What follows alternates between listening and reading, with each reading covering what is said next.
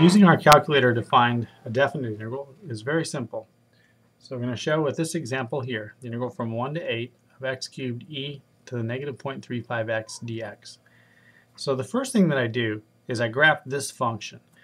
Now this function here, the actual little f of x is what we're going to always graph. On simpler integrals, sometimes I'll see people graph the actual answer, the antiderivative. And that would actually be a mistake. We could use the antiderivative to get our answer quite directly. In this case, however, this would be a bit of work. This would require integration by parts three times in order to get this x cubed down to the size we want. So we're going to do this one by the calculator, and I've taken the liberty of graphing it already. x cubed times e to the negative 0.35x. So I have the same thing in the calculators here. And I've chosen a window from 0 to 10. I actually let the calculator choose the max and min. So that's what it looks like on a graph.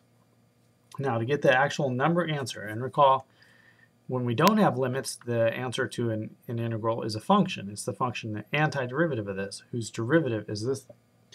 But in this case, uh, we want a number. We want to find the area under the curve from 1 to 8.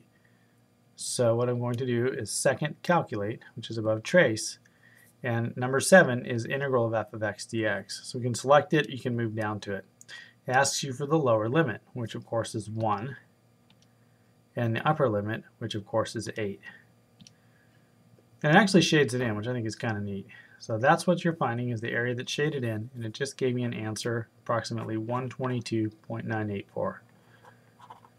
Just that quick. So that's certainly faster than I could integrate this thing because it's actually a bit complex. We'd have to use integration by parts with u equal x cubed, du e to the uh, dv e, e to the negative 0.35x, and then the du would be 3x squared, so it would come down each time you do this. You'd get another integral that required integration by parts.